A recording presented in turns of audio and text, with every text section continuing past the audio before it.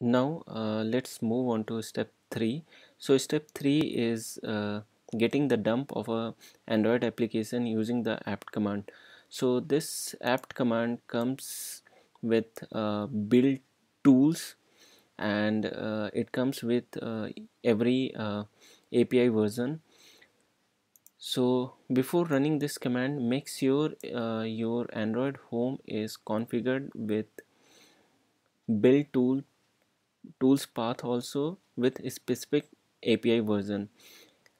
If you are not configured uh, with API version you will be getting error like aapt command not found. So let's see how how did I configure in my uh, machine. So let's open the bash profile dot bash profile.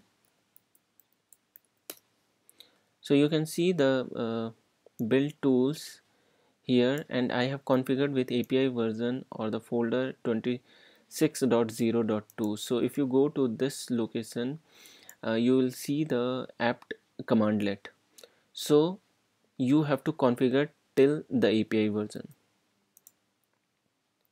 So once you run this command you will be getting a dump of uh, Android application. So let's try to run this one.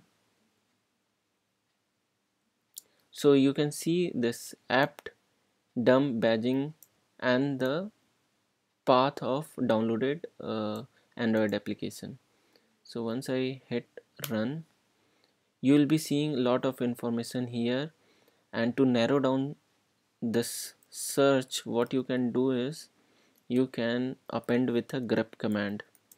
I'll be checking the or searching the package.